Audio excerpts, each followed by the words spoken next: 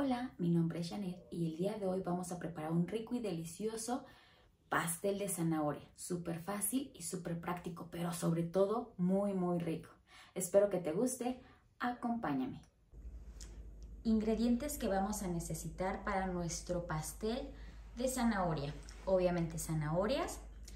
Yo tengo aquí zanahoria y también tengo el gabazo del jugo de zanahoria que me sobró. Entonces, para no desperdiciarlo, lo vamos a utilizar. Vamos a necesitar bicarbonato de sodio, harina de todo uso, vainilla, royal, azúcar, aceite, eh, canela en polvo, sal, mantequilla y eh, unas pasitas y nueces, pero las pasitas y las nueces son opcionales. También podría ser opcional eh, piña en almíbar. También vamos a necesitar tres huevos.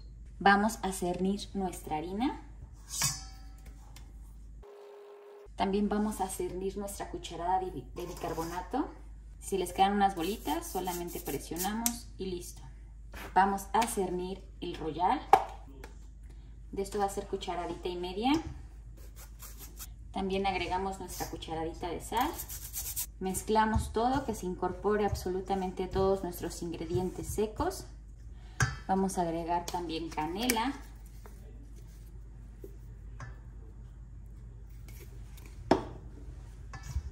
Y mezclamos. En nuestra batidora vamos a agregar tres huevos y batimos. También vamos a ir agregando el azúcar, va a ser una taza de azúcar chorrito de vainilla, aproximadamente dos cucharadas.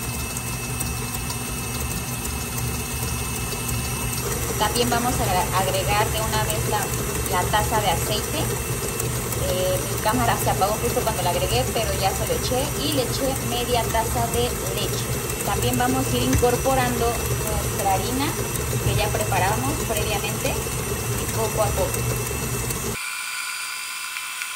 y así es como debe de quedar nuestra harina. Muy bien, como les comenté, yo me quedó gabazo de un jugo que hice y no lo quiero desperdiciar, así que se lo voy a agregar al pastel. También rayé un poco de zanahoria para que tenga trocitos de zanahoria. Y vamos a agregar gabazo. Mezclamos Agregamos media taza de nuez picada mezclamos. Igual agregamos pasitas, también es media taza y mezclamos. Una vez que tiene mantequilla nuestro refractario vamos a ponerle un poquito de harina y vamos a agregar nuestra mezcla. calentamos nuestro horno previamente a 180 grados Celsius. Y lo vamos a dejar en el horno por aproximadamente 30 minutos, pero vamos a ir checándolo. Después de 35 minutos, así es como finalmente queda nuestro pastel de zanahoria. Vamos a esperar a que se enfríe para poder desmoldarlo. Quedó súper bonito, súper parejito y ahora sí, vamos a cortarlo.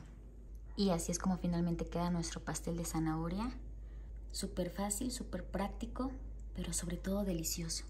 Espero que les haya gustado, que lo compartan con sus amigos y familiares. Nos vemos la próxima y hasta luego.